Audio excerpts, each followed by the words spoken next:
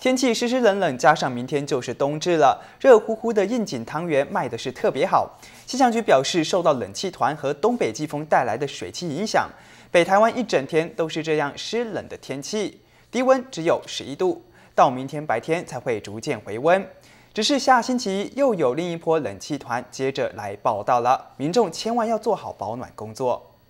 圆滚滚的咸汤圆在大骨汤里煮到晶莹剔透，夹开白色 Q 弹的糯米皮，立刻爆出粉嫩的新鲜猪肉。天气冷飕飕，饕客吃汤圆，一口接着一口。因为天气冷，然后呢，吃喝吃点热的东西，暖暖胃这样子。无赢，哦，真正有影无赢啊！我我当济啊，啊当济大家就是爱食鱼啊。